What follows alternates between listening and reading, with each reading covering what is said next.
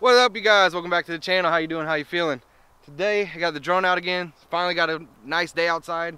It's not too windy. Um, with the UpAir 1 being a little cheaper model of a drone, I'm gonna try to see if it'll actually reach the height of the FAA requirement you can't go over 300 feet. So we're gonna see if this thing can even go 300 feet. We'll figure that out. So let me pop it on.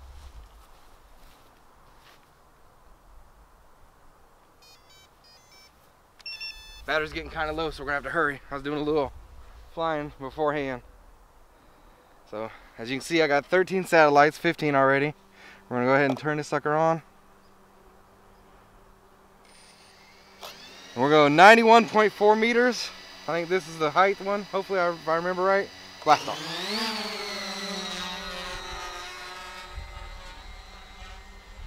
And we're already at 18, 22. We'll go ahead and record, get a little footage. Got the cool diamond baseball over here.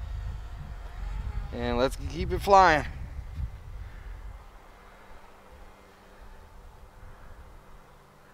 We're at 60, 70, 80, and 90. Oh, we're a little high.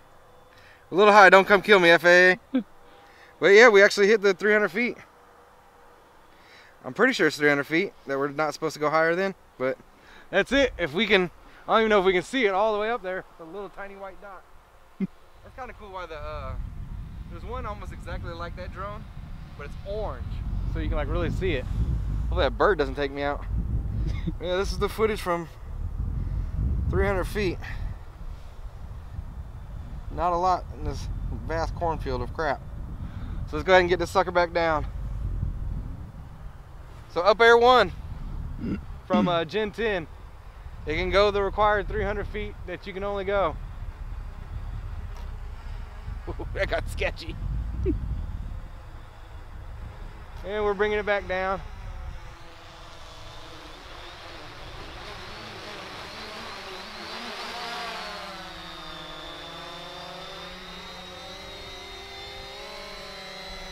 Oh, look at that cushion landing.